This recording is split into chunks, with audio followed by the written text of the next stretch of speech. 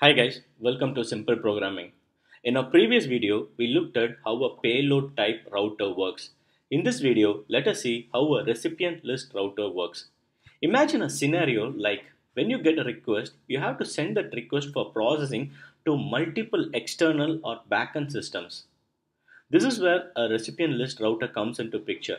You get a request and you forward that request to multiple systems parallelly. For this example, I've created a REST controller which is going to accept a student request body and I have an integration gateway that is our messaging gateway and there is a process method signature which is going to act as a gateway which is going to accept the student object and it is going to process it. So let's take a look at our integration gateway. The integration gateway is going to have a method signature process with a channel router.channel.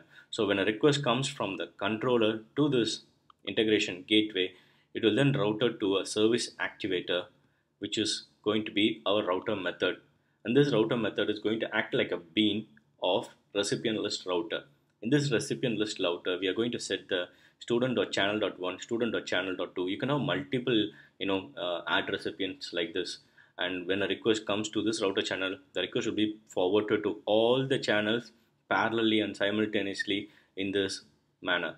You can even set the order in which the request has to be forwarded to the channels. Just quickly take a look at our service activators of student service.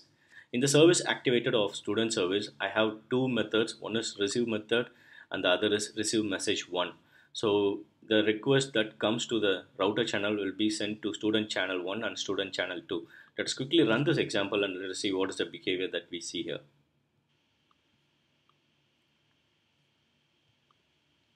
Cool. So we have got the request to multiple channels here. We have got a we have got the student request to the uh, student channel.1 and we have got also got the student request to the student channel dot two. So now do you see the importance of recipient list router? It all depends upon your business needs.